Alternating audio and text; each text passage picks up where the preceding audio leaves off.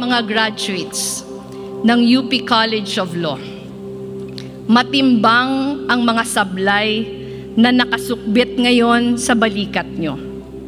Inaasahan kayo, hindi lang para patuloy na dalhin ang apoy ng katarungan, pero para ipagtanggol ito sa makapangyarihang hangin na pilit iihip dito.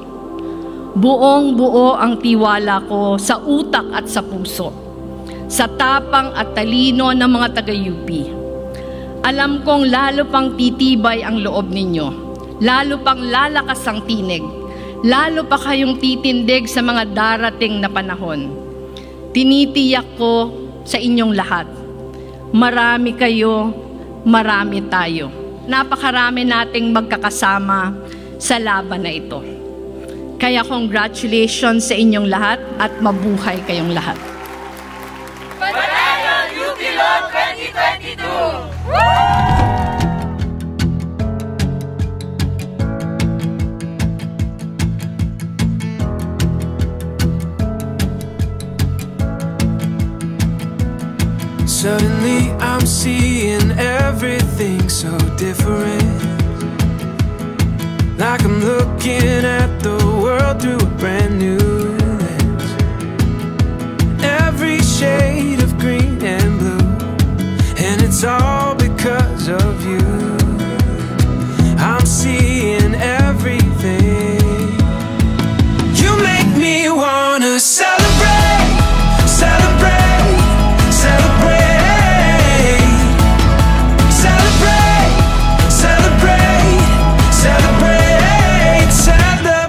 tonight.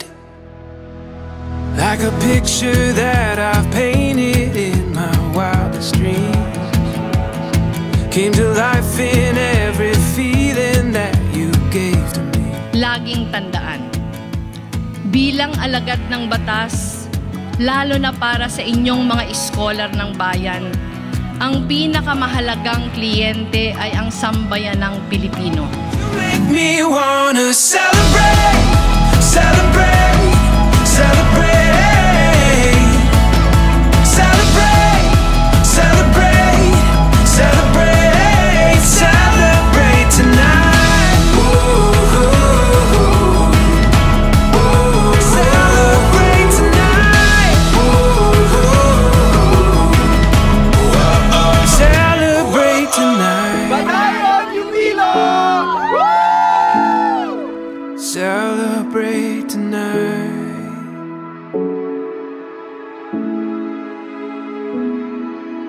picture that I've painted in my wildest dreams.